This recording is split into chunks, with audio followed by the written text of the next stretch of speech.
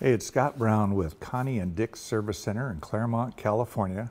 And I am currently engaged with helping other technicians or those interested in advanced driver assistance in understanding exactly what's going on. Um, I am a visual learner, and I think a lot of folks are, are visual learners as well. And a couple of things that I've been frustrated with is understanding exactly what these cameras are looking at and how they're processing the data, uh, how they're using that data.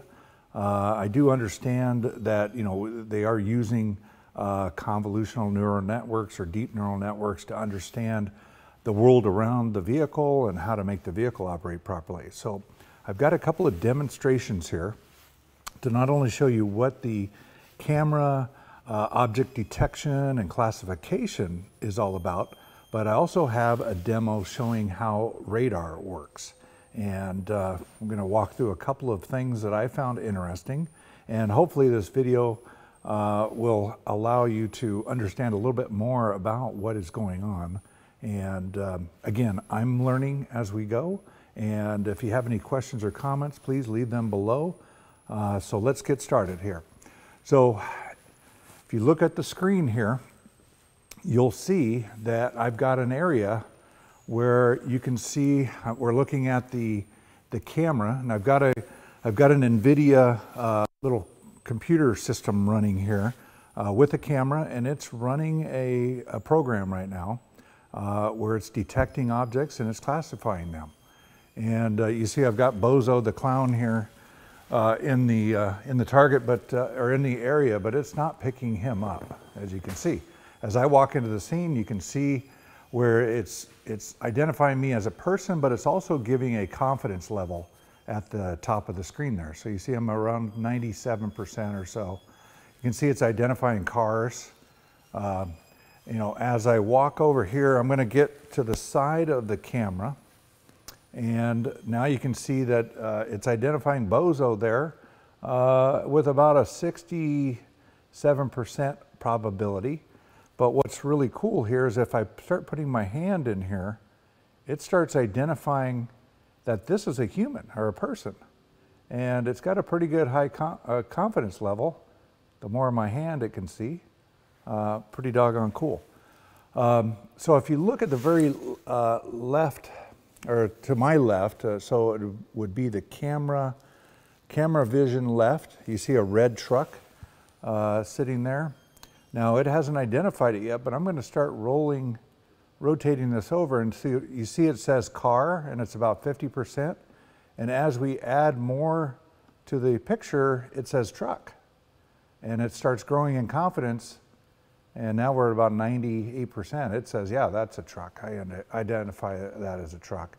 And then as I expand more, there's another car it just picked up and so on. And if we want to keep rolling, you'll see my big screen that I've got. Uh, this is inside of our classroom here. And as we roll around, it says, oh, that's a TV.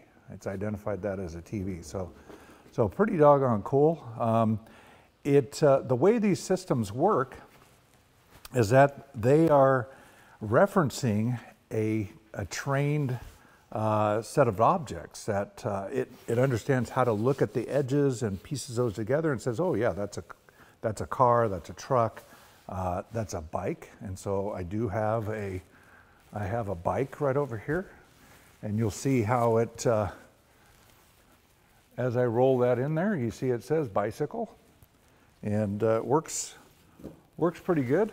I'm gonna stand that up right there. Um, Let's just go for a demo here. Go for a demo ride. And you'll see it, how it works in uh, real time here.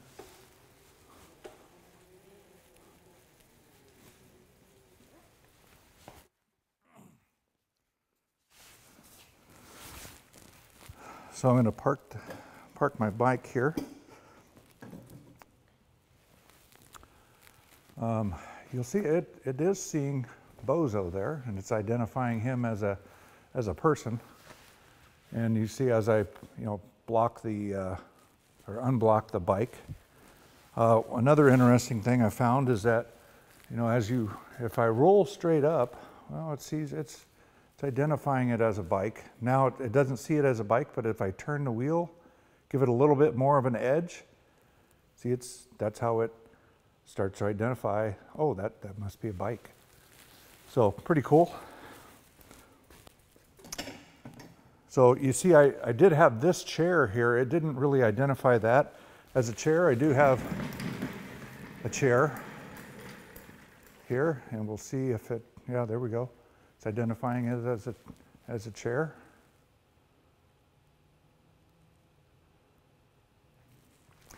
So that I think is pretty, pretty interesting.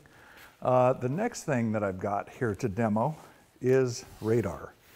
And what we've got here, I've got a, I've got a computer right here and we're running a millimeter wave uh, demonstration board uh, here. So I've got two transmitters and four receivers on this. And this demo visualizer here from Texas Instruments allows me to do some tuning and, and whatnot. And for those of you that are familiar with calibration, you can see that I've got a couple of, couple of devices, aiming devices for radar. These are trihedrals. Uh, these are reflectors to basically reflect back a, a strong signal so that you can set up and properly calibrate a radar sensor. And typically when you're calibrating a radar sensor, you're, you're, finding, you're defining the center line of that vehicle and the service information is giving you a specific distance and height to put the trihedral in, and then it reflects back. These are, uh, these are basically constructed of an isosceles triangle, so you've got two edges that are the same length and the other edge is a different length. Uh, this here is the aftermarket Autel unit. Uh, it typically, it has a larger uh, surface area than, uh, than the others. This one that I have here is a Toyota uh, factory reflector. And if we look at our display here, you'll see, and you can actually see me moving around here and it's picking me up. And I'm going to stand off to the side. And you'll see that this one right here, this one in the center, um, at that second uh, line is uh, it's right on the dead center line squared up with the actual uh, uh radar sensor device and it's 4.8 meters away from uh, the face of this unit okay and then our other unit our Toyota unit is over here in this quadrant and it is uh, one, it's negative 1.2 meters off to the left here, and it's 2.08 meters away from the center of the, uh, from, from the face of the radar. And so what I wanted to show you here is that, you know, this is giving us our, our distance along the axes, but over on the right here, you'll see the relative power, the strength of this, the radar signal that comes back. And if you look here, I'm going to move my mouse over, and when you see the two right there, that's 108.2 uh, dB.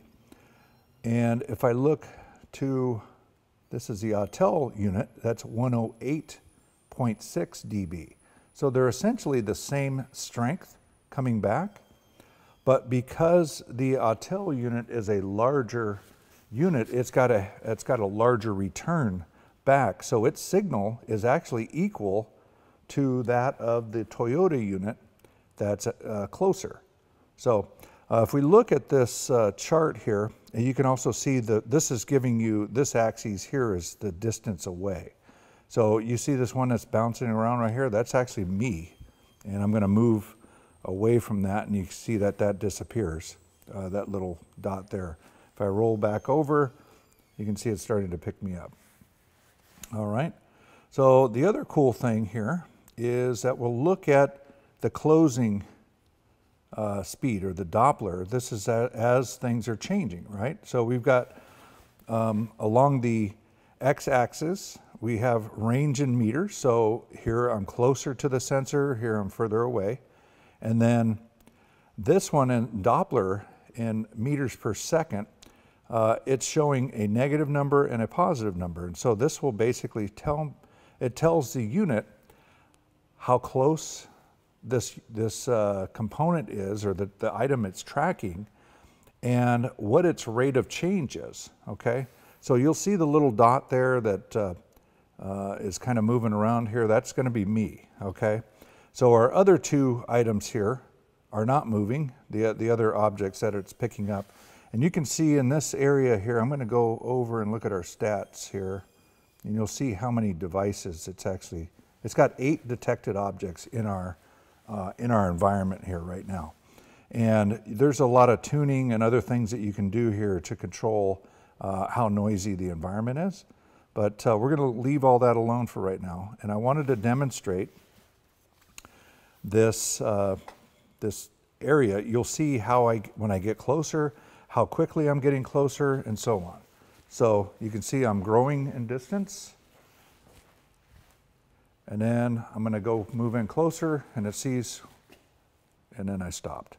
So I think that's, uh, that's actually pretty cool visual to see what, uh, what's actually changing. You see how, how quick.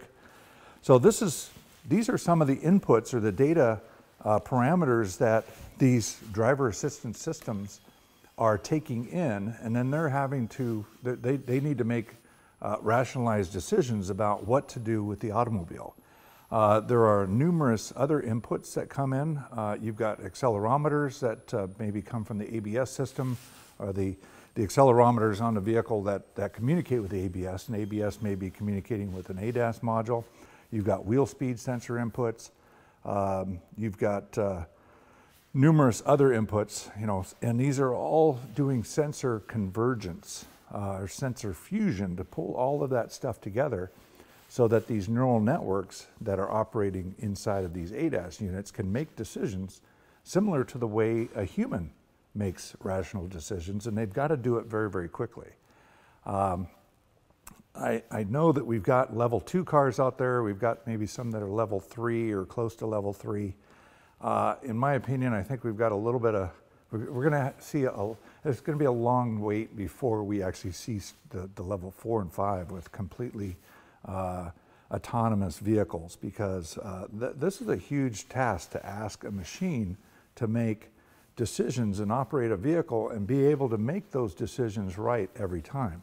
I'm not saying that humans make the same right decision every time because clearly they don't, but um, it's just, uh, I find it fascinating as to what is going on with these automobiles and how they're putting together all of these sensors and, and how they're trying to put all these things together to make it make it think, understand, and rationalize as a human being. So uh, again, as I mentioned before, if you have any questions or comments, please leave them below. And I hope that you found this interesting. If you've got any uh, input on other things you'd like to see, uh, please uh, let me know. And thanks for watching.